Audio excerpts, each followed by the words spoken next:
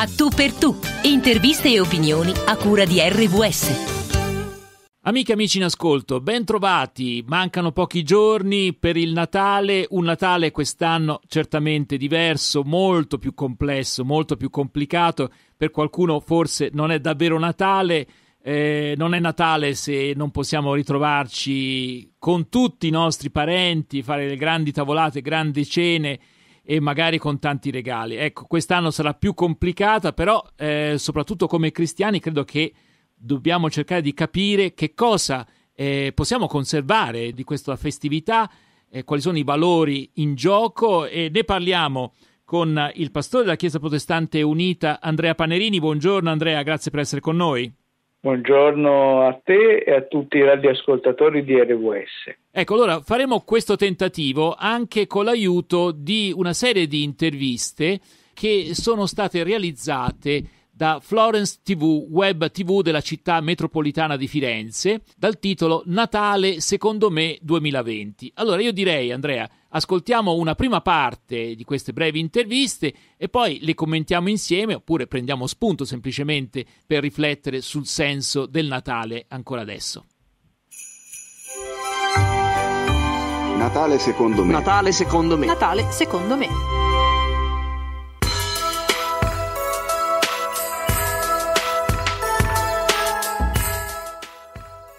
Il Natale secondo me sarà come le foglie al vento, volerà via e non ce ne ricorderemo. Invece questo sarà un Natale speciale, sarà un Natale di solitudine e ce lo ricorderemo, ci ricorderemo anche di chi è sempre solo. Per me eh, Natale quest'anno è qualcosa di nuovo. Ehm, io ho sentito, sto sentendo perché poi Natale in realtà si sta avvicinando, eh, innanzitutto il bisogno eh, di trovarne l'essenza. Istintivamente eh, sento anche un rifiuto, per esempio, verso certe eh, abitudini e consuetudini che, che, prima sembravano normali, quindi i ritrovi numerosi, gli scambi di doni materiali, eccetera. Io penso che quest'anno eh, per me sarà un Natale più alla ricerca dell'essenza, del valore quindi cercherò eh, personalmente di ritrovare quegli elementi di rinascita, quegli elementi eh, che proprio stanno alla base della, dell'essenza della vita. Spero di avere la possibilità eh, di attraversare con chi amo, con chi mi sta intorno, con la famiglia, eh, questo momento come un'occasione di riscoperta l'uno dell'altro. Spero che il regalo più grande quest'anno possa essere questo, di ritrovarci rivederci vederci in una maniera nuova.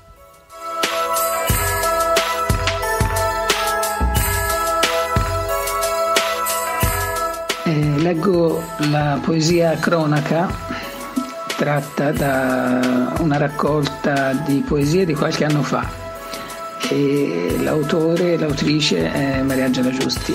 Leggo. Ecco allo snodo del sottopassaggio lo spettro di un uomo accasciato. Dormiva, o forse se ne stava morendo, col viso appoggiato al muro, le gambe ripiegate sotto e le mani ciondoloni. Un cappotto vecchio degli anni della guerra. Ognuno di noi passava, non elargiva doni, né spiccioli, né parole non portava né incenso né mirra, né formaggi né latte né miele. Ognuno aveva il suo genere di fretta. Lui se ne stava senza speranze, occhi chiusi, in mezzo alle gomme attaccate, alle cicche e agli sputi. Natale.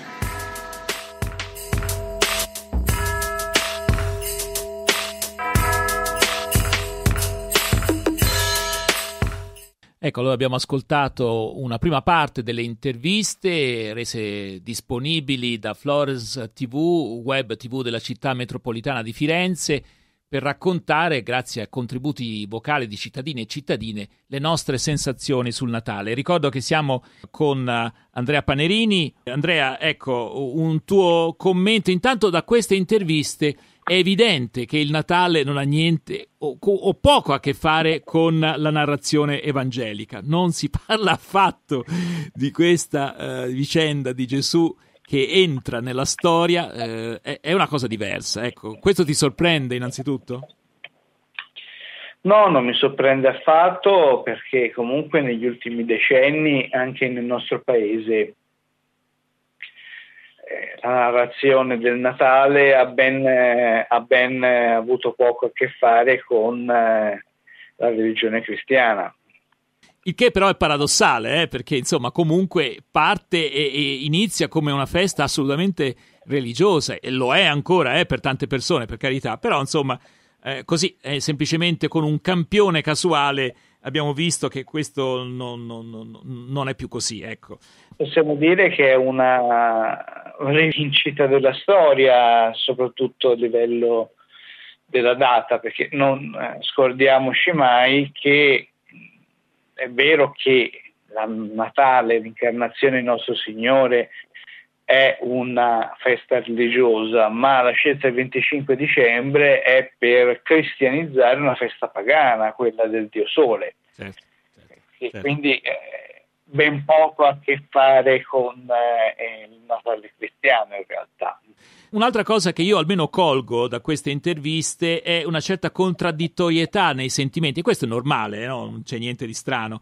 Eh, come foglie al vento, no? il Natale, diciamo, visto in maniera un po' malinconica. Ecco, questa è una delle tante occasioni che ci passano accanto, ma alla fine mh, non sono importanti davvero nel calendario della nostra vita. Ecco, questo è la prima, forse il primo riferimento. E poi, ecco, c'è chi invece è speranzoso che occasioni come queste eh, ci aiutano a ricordarci di chi è solo e d'altra parte invece l'ultima testimonianza è quella invece del Natale come un uomo accasciato a cui passano accanto tante persone, ognuno ha il suo genere di fretta. Per te cos'è il Natale? Tra queste testimonianze qual è quella che cogli come più vicina a te, insomma? Sicuramente il Natale è eh, un momento sia di condivisione, dovrebbe essere almeno, sia dall'altro lato un momento di raccoglimento. Eh, io mm, capisco questi sentimenti eh, anche di, eh, di, depressione collettiva, perché chiaramente abbiamo affrontato un anno molto difficile. Mm. Da un punto di vista cristiano, tuttavia, è necessario essere, essere chiari sul significato del Natale. Mm che non è chiaramente solo l'aspetto sociale, la, la scusa per riunire le famiglie, ma è soprattutto l'incarnazione del Signore che dovrà poi eh, passare la, la, sua passione, la morte e la risurrezione per la nostra salvezza. Mm. Non è eh. solo questo sentimento popolare con Gesù bambino e questa tenerezza più o meno sincera. Ecco. Tra l'altro, eh, anche nel racconto evangelico, la tenerezza che pure c'è si accompagna a una situazione drammatica, cioè insomma i, il Dio che incontra l'umanità in Gesù Cristo nasce in una situazione di grande precarietà sociale, insomma, no? la mangiatoia, ecco.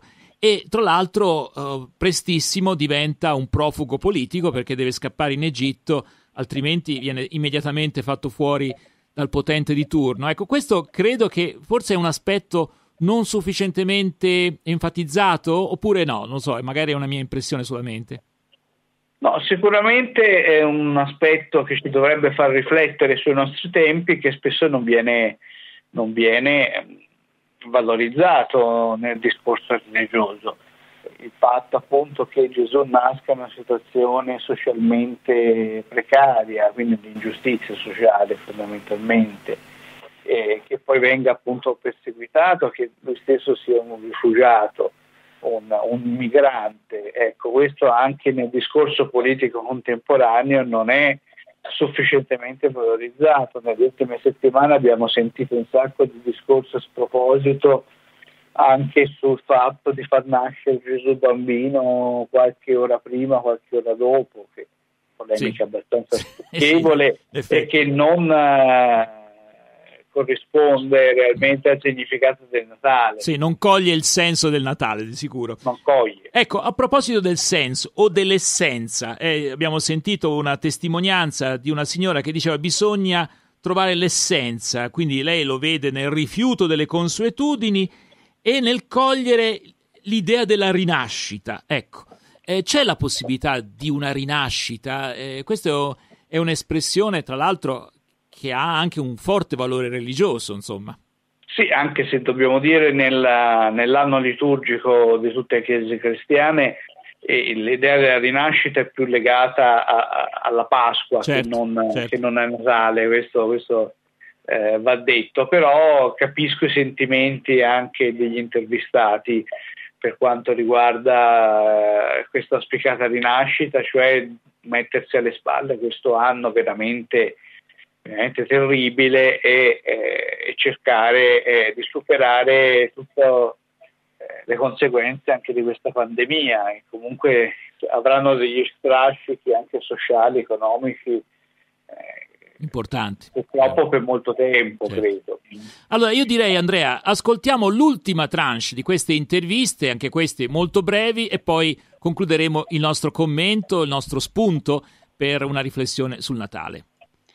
Quest'anno il Natale non sarà come l'anno scorso che andremo a trovare i nonni, che andremo a trovare le zie. Cioè, forse ci potremo andare, ma non dandoci gli abbracci, dandoci i baci. Comunque però speriamo che quest'anno andrà tutto bene e che i contagi si abbasseranno. Buon Natale! Natale sarà diverso, ma io ugualmente aspetto Babbo Natale e non vedo l'ora di mangiare i tortellini in brodo con la mia famiglia. Sarà più be- un po' meno bello, però almeno un pochino ci divertiremo. Ciao, buon Natale. Allora il Natale secondo me quest'anno sarà l'occasione per stare tutti quanti insieme, parenti, amici, magari invitare anche quelle persone che non hanno come festeggiare il Natale, quelle tavolate di 20, 30 persone, tutti insieme, tutti accomunati e festeggiare. Ah, ma è 2020 ora. Ah, vabbè, allora consideratelo questo messaggio per l'anno prossimo, il 2021. Eh? Auguri di buon Natale a tutti.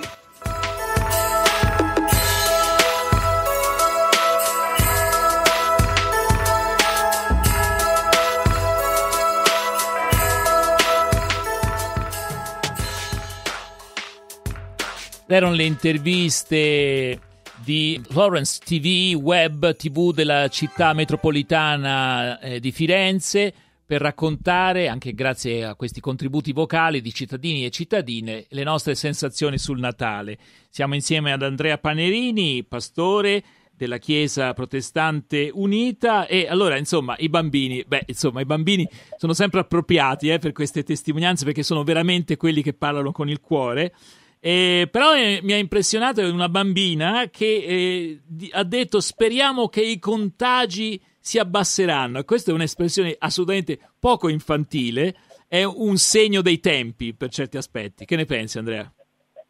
Certo, un segno dei tempi, un'infanzia che eh, deve misurarsi con un mondo profondamente diverso da quello che abbiamo dovuto affrontare noi da, da bambini sia per il progresso tecnologico sia perché appunto le nostre generazioni sono generazioni che avevano veramente pensato e sperato di non dover più affrontare epidemie e certo. emergenze di certo. questo tipo. Mm, c'era stata l'illusione che attraverso i farmaci, antibiotici, i vaccini, e per alcuni anni questo è stato vero, pensiamo per esempio al sostanziale debellamento della poliomielite, per esempio, o, o, o, al vaiolo che è stato eradicato ormai diversi anni fa.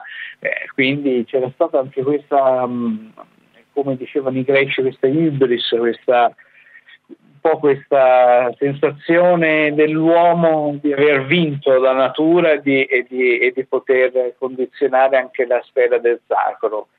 Eh, un po' questa anche megalomania dell'uomo di questo controllo scientifico e, e purtroppo invece gli elementi poi si sono scatenati. Mm. Niente abbracci. Un...